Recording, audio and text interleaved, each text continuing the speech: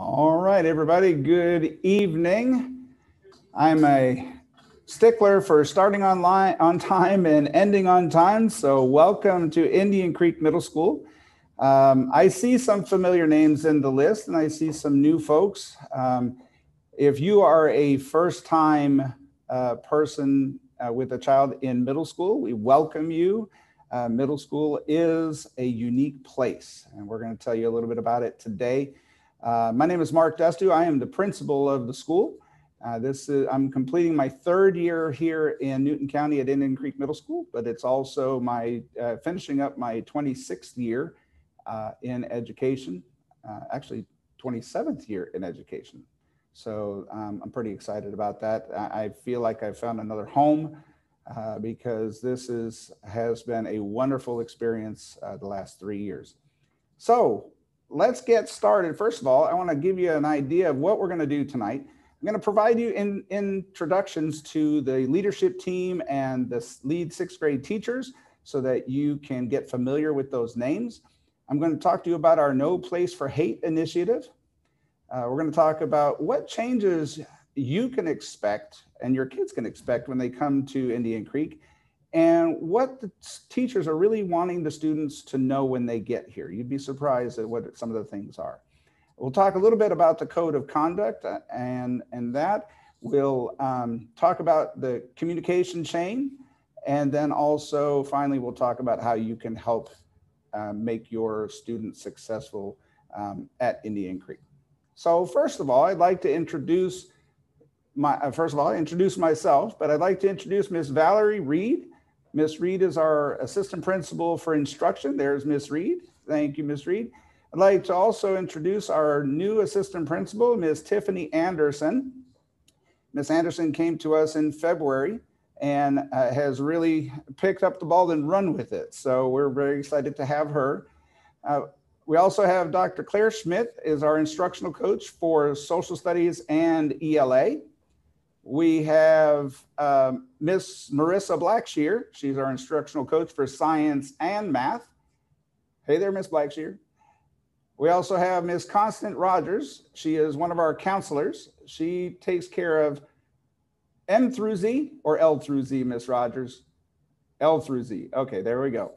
All right, and then we have Miss Rios Jones. Uh, Miss Rios Jones is not with us this evening. She is um, a home ill. Hopefully she will be recovering soon.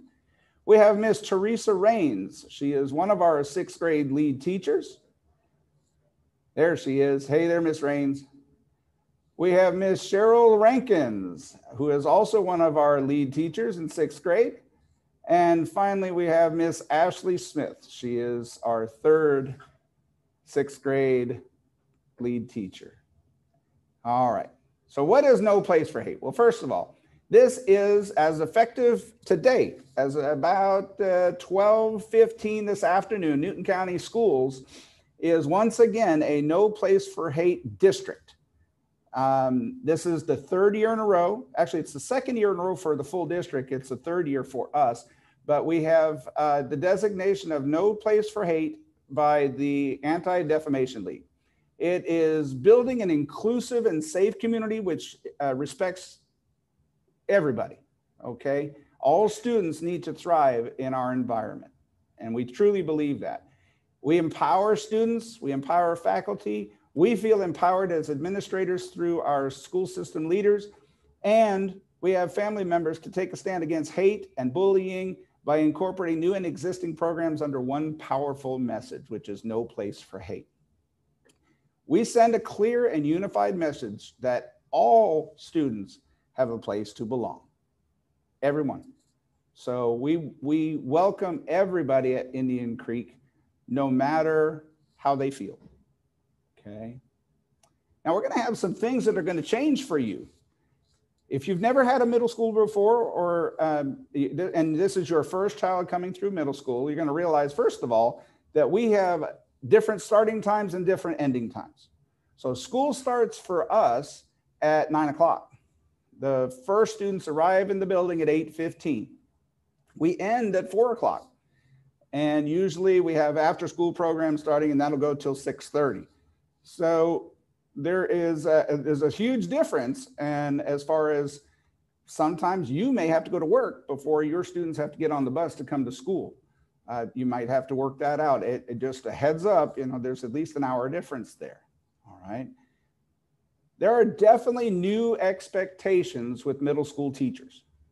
Now, in, a, in an elementary environment, if you're coming from a, a small elementary school, let's say Mansfield, okay, you're probably you've probably expected to get instantaneous response from the teachers and things like that.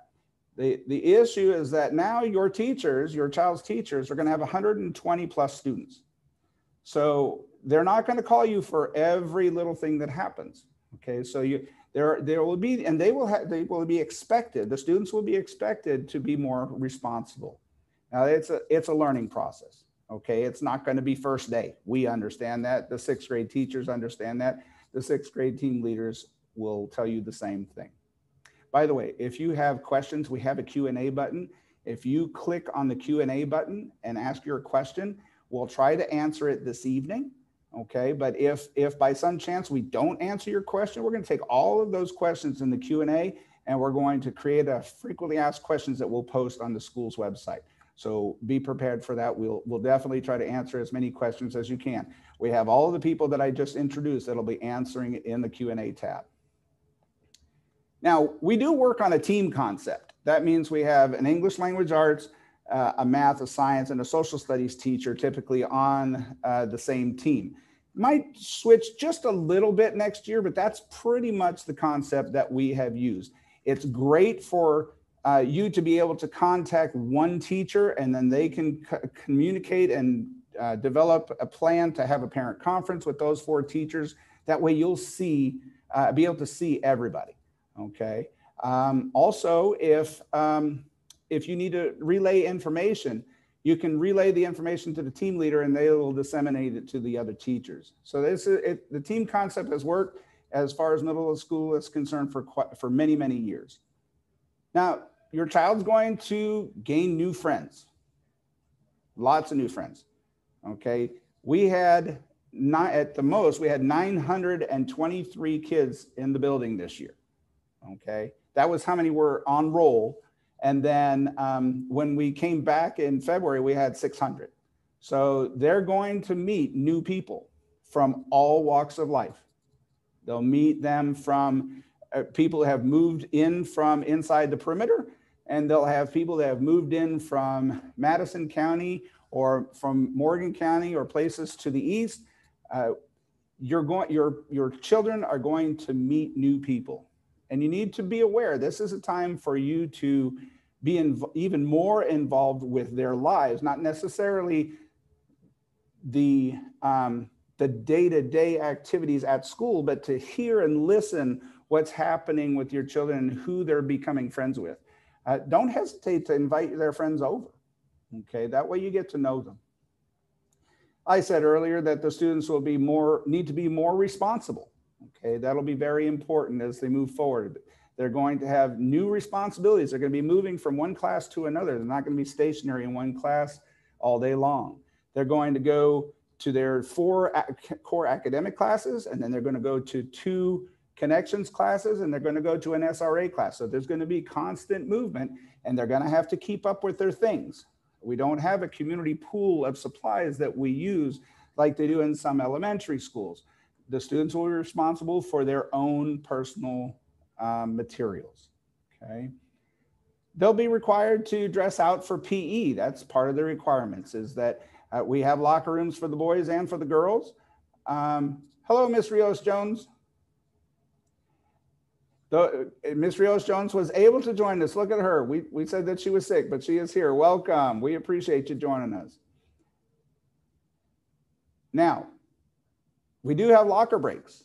Students will have locker breaks. They'll be able to leave their things in their lockers locked. They'll have to learn their combination.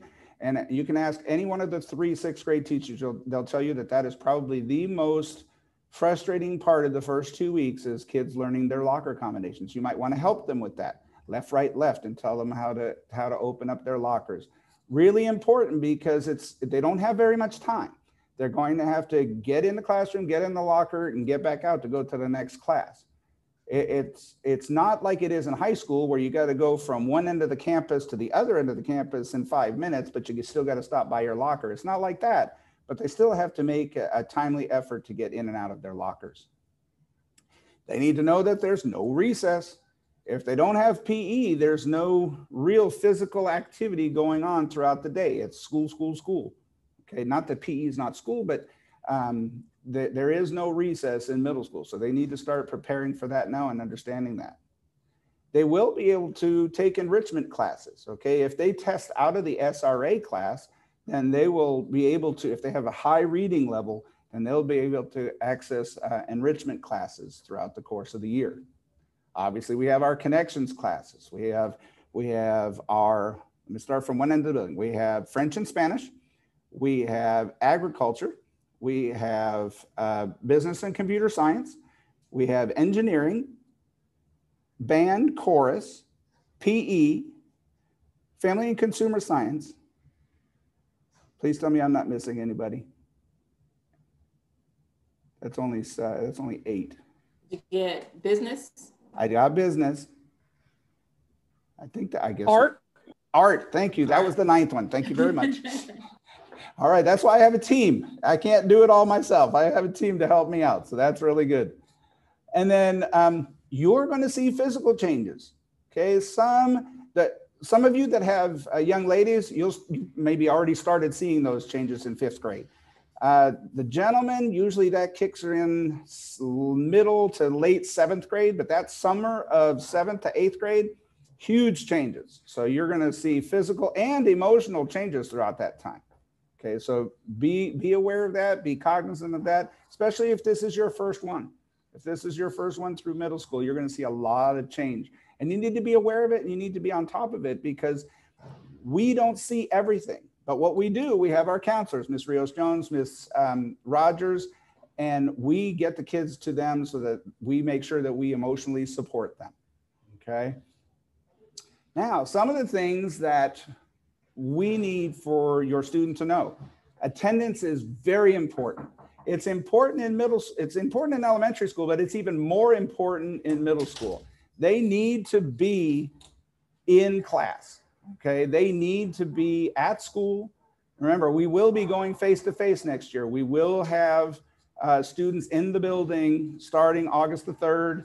And um, so it'll be important for them to be at school and in school. You miss way too much, even if you miss one day.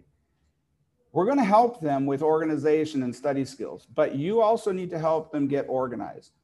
Uh, one of the things, you know, people might go out and they may say, uh, hey, pardon me, they may say, well, um, what should I buy? What does the list look like? Okay, the best thing that you can do is not spend a bunch of money up front, other than maybe buying pens, paper, pens, pencils, paper. Okay, beyond that, wait and see what the syllabus says for your children's four classes. That's going to be the best way to buy to, to buy your materials so that you don't go overboard. I can almost bet you that they're going to need a notebook okay, some type of binder to keep all their stuff organized, okay? But beyond that, wait until you hear from your teachers. Okay, so that's part of the organization that we're going to talk about, okay? Um, makeup work, okay? So in the handbook, it says that only excused absences can do makeup work. So if your child is out sick, you don't take them to the doctor, you can write them a note five times. That's it, five times. And then after that, they remain unexcused absences unless you get a doctor's excuse. Okay, so let me repeat that. Makeup work is only can only be done with excused absences, and the the second and that's it, the in class stuff. And then if you give them a note and you're writing the note because they just didn't feel good that day, they wanted to stay home, you can do that five times. After that, they have to um, you have to get a doctor's excuse. All right. We do allow students to turn in late work. Okay, we do allow that. Uh, the reason we allow it is that not all kids learn at the same speed. Not all kids can work at the same speed. Now, I'm not saying that if it's assigned on Monday for Friday, they have till three months later to do it. That's not what I'm saying. What I'm saying is that we want students to get their work done as quick as possible. The goal being to make sure that they make it and turn it in on time. And then if they go a little bit later, that's on a case by case basis with the teacher because it, we don't want it to be habitual. Okay, we want to we want to teach the, the children to ensure that they're uh, keeping on top of things. And, and you have ways to be able to keep up with that as well. Not only do we have our Infinite infinite Campus portal, which we'll talk about in a minute, we also have our Canvas portal that the students are in, uh, and they'll be submitting their work in. So um, you have a lot of ways to, to access it. So here we are, Infinite Campus. So if you're not familiar or do not have a parent portal login right now, you need to make sure that you contact the registrar at your current school and get an Infinite Campus portal login so that next year, day one, you walk in, you can get on your phone, you can get in your on your computer, and you can log in and see exactly what assignments your student needs to complete or maybe has outstanding. That's going to be the easiest way. Have it on your phone, have the app on your phone, look it up. Okay, Johnny's got missing assignment this, it was due on August 4th. Okay, I need to make sure that he's got that done. That's going to be the best way for you to keep on top of your students because like I said, teachers will tell them that to turn assignments in, they're going to be responsible for it and they're not going to tell them every single time they turn something in late you're going to have, they're going to have to keep track of it themselves in their infinite campus portal to see what am I missing or in their canvas portal, either one. All right. Those grades are accessible 24 7, 365. You can access it anytime. So if you work the graveyard shift and you want to see what grades have been uh, submitted by the teacher on a particular uh, in a particular day, you can take your phone on break, boom, boom, boom, and there you go. Okay. You'll have access to it all the time. Now, your teachers are going to want their, your students to remember their schedule. Now, here is a sample sixth grade schedule for next year. It's not finalized yet, but that's base. This is basically what would happen. Um, the from nine from eight fifteen to nine o'clock, your students would be able to access homeroom. Remember that nine o'clock is the time that school actually starts. 905 we transition we we have transitioned from 9 to 905 over to the SRA class, which is our reading program. And everybody in the school does this unless they test out. Then at 1010, uh, we move over. Sorry, that should be um, that should be 10 o'clock. And at 1010, at 10 o'clock, sorry about that. That should be 10 o'clock. And then at 10.05, we're going to move over to second period, which is actually their first academic class. Then at 11 o'clock, they would go, they would be in their third period class and they'd eat lunch sometime between probably 11 and 12, somewhere in there. Okay. Then they would go to fourth period. Um, that is their third academic class. And then fifth period, their fourth academic class. And then they go to their elective classes from 2.15 to the end of the day. So th this is a traditional schedule that we would we're more than likely going to follow next year. So let's count the transitions. You've got homeroom to SRA. That's one, two, three, four, five, six. And if we block this, it would be six transitions plus the end of the day. If we don't block this, then it's seven transitions, not to mention to and from lunch. Okay, so we're talking about nine different transitions that your students will be in the halls and they'll be moving from one place to the other. Okay, so something significantly different than what they have been experience uh, have been accustomed to thus far. So if they come home the first week or so and say, I'm exhausted, we're moving all the time, that's probably true every 50 minutes. So there's not really a need for recess because they're going to get their exercise going from one end of the building to the other. We have team discipline policies that each team will, will follow. Obviously, we have the handbook that everybody follows, but you know, each team will come up with a set of four or five rules that they post in their rooms, and these are the th- the expectations for that particular team. Team locker and restroom breaks. We always take restroom breaks. We always take locker breaks as a team. That way, we um, it's it's a flowing process. Everybody's scheduled, and we're able to get it done in a quick manner without uh, having a lot of downtime.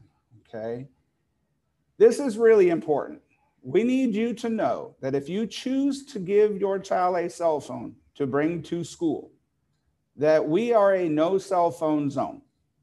Okay. The students are not allowed to use their cell phones during the day. Don't call them, don't text them. They're going to get in trouble. Okay. If you need to get in touch with your children or they need to get in touch with you because they're sick, They're going to come to the front office and they're going to call. Okay. We're not saying that we, I listen, I understand some of some of your children come home and they're taking care of younger siblings. I get that. And and they need to have a phone. They need to, that's their only source of communication. I get that. But at school, unless they get explicit permission from the teacher, they cannot have their cell phones out. Okay. If they even have it in their hand, it's considered out and it'll get collected. So the first time it gets collected, they get it back at the end of the day. The second time it gets collected and you have to come and pick it up. The third time it gets collected, you have to come and pick it up and they serve two days of ISS. And then it, it, it's progressive after that. So we want to make sure that we don't have that problem. Again, they can have them, uh, but they can't use them. All right. We have a lot of extracurricular activities. We don't only have athletics. Obviously, we have the typical softball, football, basketball, wrestling, track, and soccer. Okay, we have those types of things, but we also have after school activities that include band, chorus, uh, we have our electric car racing team. We have our FFA program. We've got our FBLA, Future Business Leaders of America. We have our FCCLA, the Family and Consumer Science. So we have a lot of activities that your kids can participate in. If there's one thing I can tell you, don't let your child be a couch potato after school. Get them involved in something. Don't care what it is. Your child does not have to be an athlete. We have robotics too, Vex Robotics. We have our, comp- our competition team took tons of awards last year. Get them active, get them involved. That'll keep them out of trouble. Okay. I, I encourage you to do that. All right. Now, the code of conduct. So, in the code of conduct, dress code is a big thing especially at this time of the year when it gets warmer, everybody wants to wear short, short shorts or whatever the case may be. Um, let me just say the dress code is in the student handbook. Don't go shopping until you read the dress code. Some examples don't buy your students jeans with holes in them. I know they're hard to find, but they, they, there are companies out there that make jeans without holes in them. Okay, if they have holes above the knee, though that's a dress code violation, and you're going to get a call to have them uh, to bring them some new clothes. Um, the the the rule of thumb as far as uh, skirts, shorts, dresses, whatever the case may be, hands down to your side. If your fingertips touch skin, it's too short. So, I mean, we try to make it as simple as possible. Boys, too. Okay. Boys can't wear short, short shorts either. Some of them will why they wear chubbies and things like that. And no, they're too short, then they have to they have to change. So uh, we try to make sure that we make it fair for everybody. We talked about the no cell phone use at school. Some of you may be um, used to coming and having lunch with your your students. That is definitely not encouraged.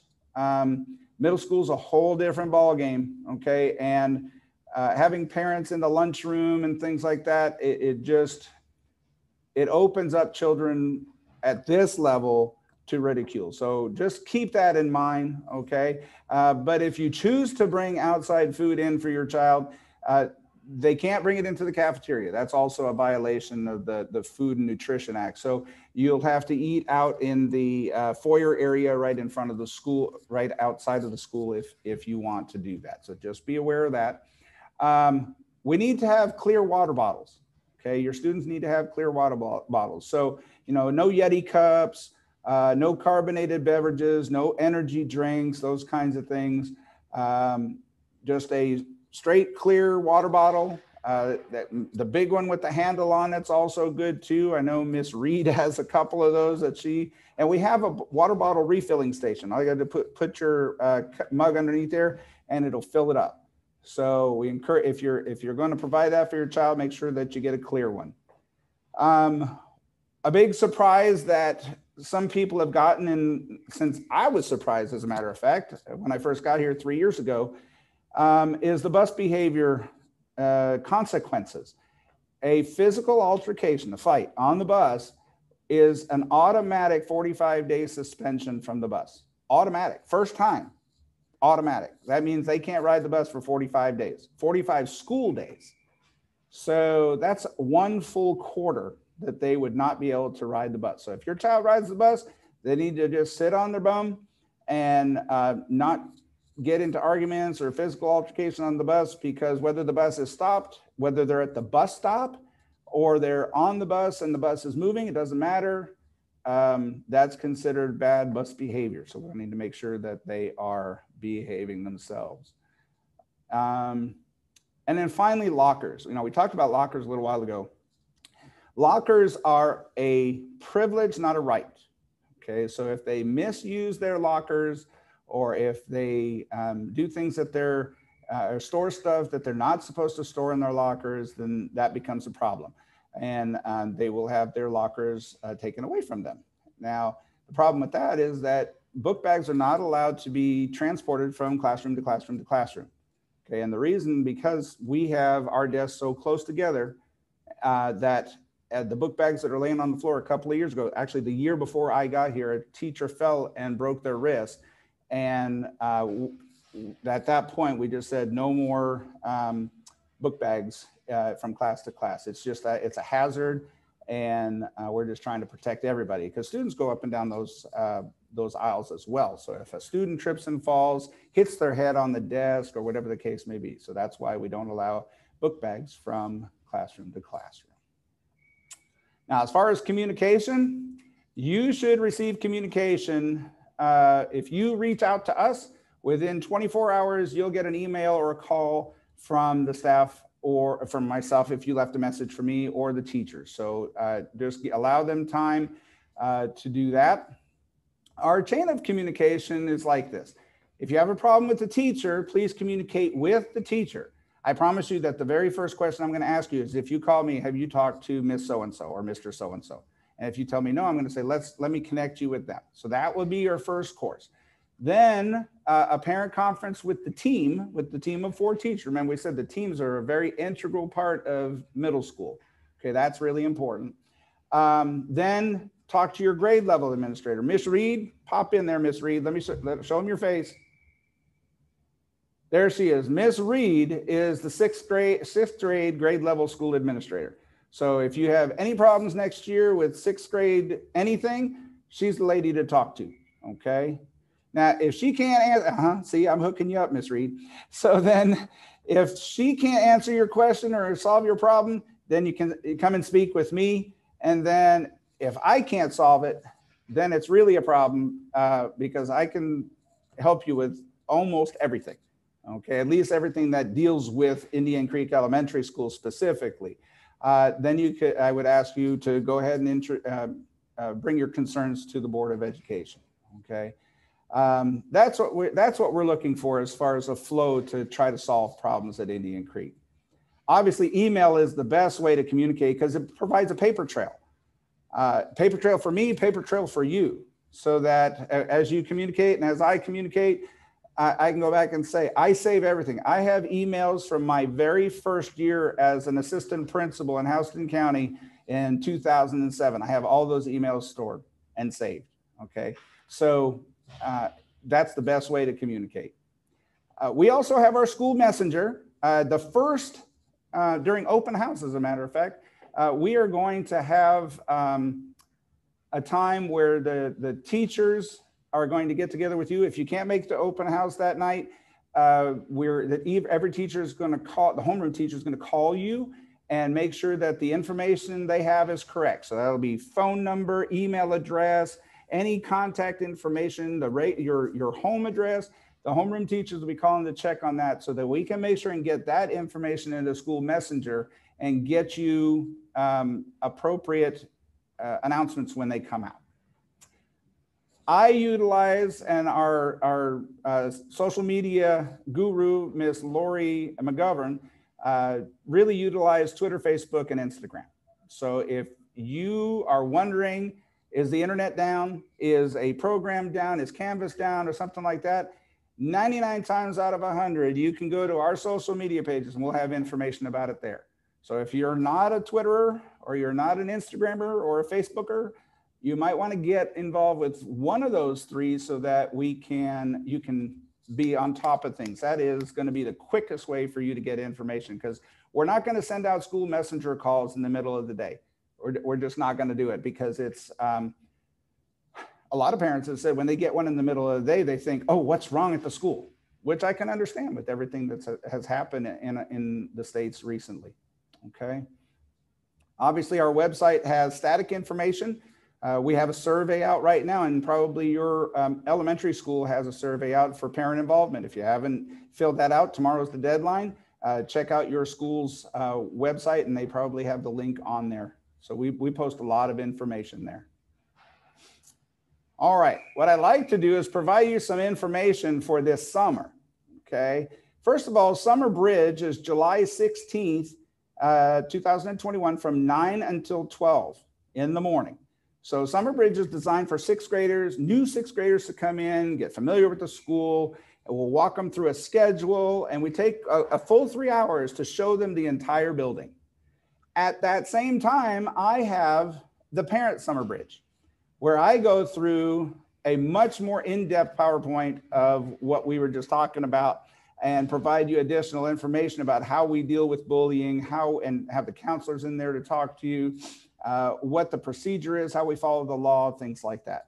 Uh, all of those kinds of things are involved in Parent Summer Bridge. Plus, I'll expose you to the Parent Involvement Center, where if you need to check a child's grade, your internet's down, or your um, you don't have a computer at home and you need to print something out, you can come into our Parent Involvement Center and things like that. And then finally, we have our open house, which is July 28th. Mark that date down, July 28th from 5 to 7. So open house where you get to come in, get the schedules, look at, and, and now the kids who come for Summer Bridge might be able to have their schedule by then. We'll have to see. We'll be, we might be tweaking them still, so they might change before open house. But, um, but open house, everybody should have their schedules.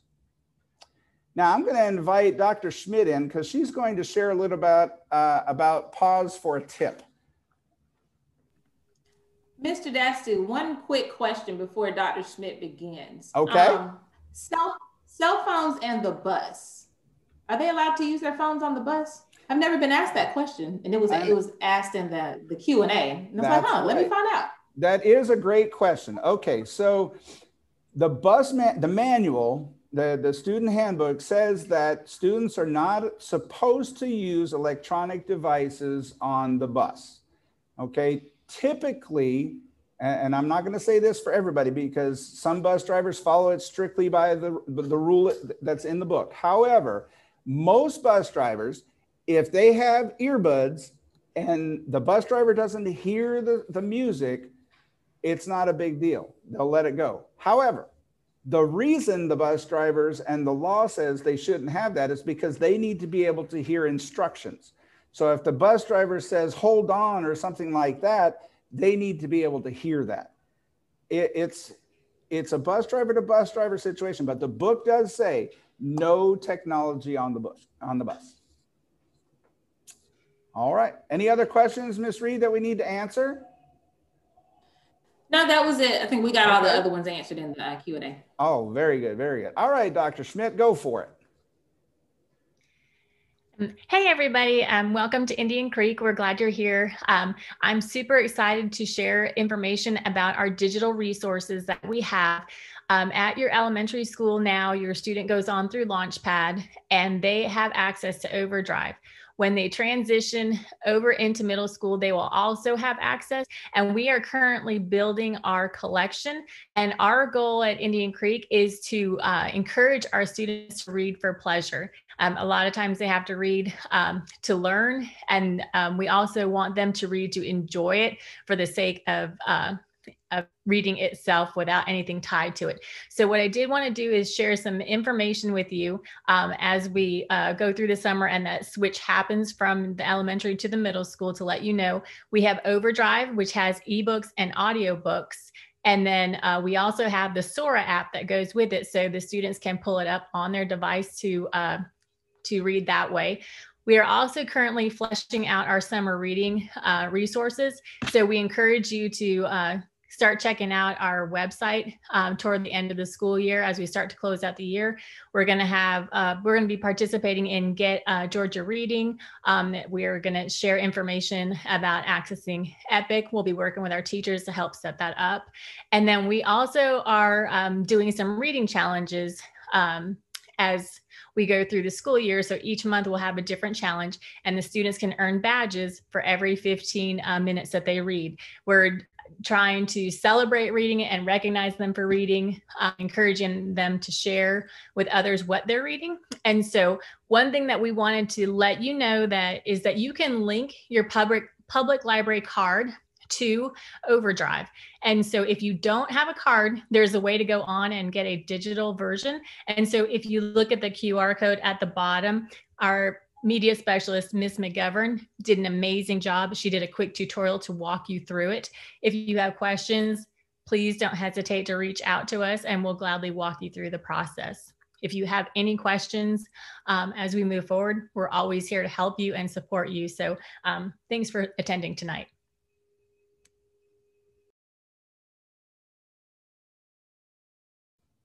All right, very good, Dr. Schmidt. Thank you so much. Yeah, we're very excited about that program and having the digital resources available for everybody. Uh, it's it, it uh, the grant that we received to make this happen is going to uh, go on for the next four years. So you're going to see tremendous changes coming up in our literacy initiative uh, moving forward. So. Um, just like tonight, uh, I, there there is one question that's in the the chat that I'll address right now. Just like tonight, this this session is being recorded, so and we post those on our YouTube page. So uh, there'll be a link uh, that'll be posted on the school's website that'll get you that to that. So uh, if you are out of town for the July 16th meeting, uh, the um, we're considering, depending on how things work out, we might have um, a similar meeting before open house on the 28th. I might ha- I might hold that one on the 28th for the parents. That is. Uh, as far as the kids, there's not going to be another session. It'll just be coming to open house. Um, if that doesn't, like I said, if that doesn't work, the 16th will be recorded and we'll post that on the website as well. Okay. Uh, yes, we have sports tryouts. Uh, as a matter of fact, uh, football Spring practice is coming up here in a couple of weeks. If you call the school tomorrow, we can give you specific information. Uh, softball tryouts are 17th and 18th. Pardon me, if you're looking to try out for sports. Um, we're more than likely not going to have a competitive cheer team this year because our coach has left and gone to Florida, and we are unable have been unable to find a qualified person to do that. So the girls will be eligible, I believe to be on the C team at the high school, but I haven't confirmed that yet as far as competitive cheer. Uh, one other question in the chat, uh, how many kids will be in the classrooms? Uh, right now we have 840 scheduled to be in the building. So uh, we're looking at between 25 and 28 per classroom uh, as, we, as we're looking at it right now. Um, all right let's go back to the presentation. So how can you help us? Well, first of all, we need dedicated parents that will attend our Title I math and ELA nights. We provide a ton of resources and activities for you to use with your students at home uh, on those nights. And we really, really encourage you to show up to those. We need some parents that will step up, especially sixth grade parents, because you're going to be with us for three years. Um, we need you to commit to building a strong PTO. We have I've begged, I've borrowed, I've stolen, I've done everything I could to try to build a strong PTO, and it just has not worked. So I encourage you, if you want to be active and and take the lead, we do need some people to run our PTO. Uh, we need people to commit to serving on the school council and attend the meetings. A lot of people have committed in the past but have not attended the meetings. So we need to make sure that um, we have a, a solid foundation for the next three years. And uh, we need people to fundraise. I saw the question about athletics and sports tryouts. Uh, our athletic facilities were actually put in by the families of Indian Creek back in the uh, back in the early 2000s. Okay, and uh, those those particular facilities are starting to deteriorate, and we need some assistance to get those back up to snuff. So if you can help us out with fundraising for that, that would be awesome.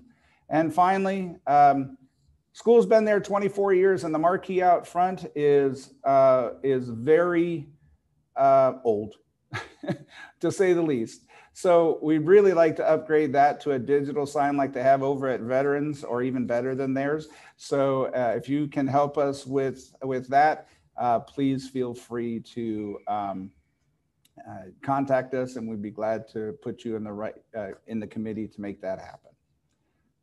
Finally, how can you help us most of all? We need for you to remain positive. Okay? Support the teachers. Sometimes you might not agree with their decisions, but they all have the best interest of your child in mind. Many of them have been doing this for a very long time. Um, I may make a decision that you don't agree with. However, I'm tasked with what's in the best interest of the masses.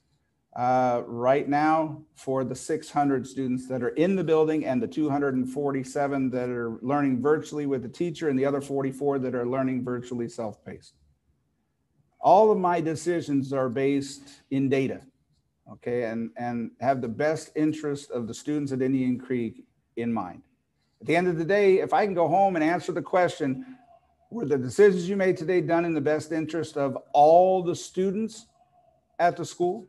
And I can answer that question, yes, then I can sleep well at night. Okay. We've heard from our high schools. We have students that go to all three high schools, and they've expressed to us their expectations for the students arriving in ninth grade. So we want you to know that things are going to be different at middle school than they were at elementary school. We're the bridge between elementary and middle, uh, excuse me, elementary and high school. And we treat it that way. We're serious about it. This is time for our children to expand their wings and fly solo. I didn't say alone without guidance. I said solo, which means unaccompanied and done by them. That is what we're about at Indian Creek Middle School. I want to thank you for joining us this evening. We're going to leave the Q&A open for a couple of more minutes so that the team can answer the questions uh, that you might have. And then um, we'll be closing it down uh, probably in, in, about five or six minutes. Okay, so uh, if you have questions, please pop them in there. We'll answer them either here or put them in a frequently asked questions that we will have posted on our website. We'll have this recording on our website as well. So with that, I want to thank everybody for their um, attendance tonight. Uh, we appreciate you joining us and spending time with us. Uh, the team thanks you for that. It's often, it's not often that we get 38 people to come to a session at Indian Creek. Let me just tell you that I am over the top excited with how many parents were here tonight. I can't even tell you. 38 may not seem like a lot, but to get 10%, oh, more than that, it's almost 15% of the sixth grade class coming in to listen to what we have to say is exciting. And I'm looking forward to the next three years. So, with that, I'm going to turn my camera off and my sound. The team will continue answering your questions, and we thoroughly appreciate you and thank you. And we'll see you soon. Thank everyone for attending. I think we have all of our um, Q and A's answered at this time. So teachers and staff, thank you all. Parents that joined us, thank you all. I hope we answered all of your questions. If you have any other questions, please feel free to reach out to any of the panelists that you met here tonight, Mr. Dastu, myself, or Ms. Anderson. Thank you so much. Good night.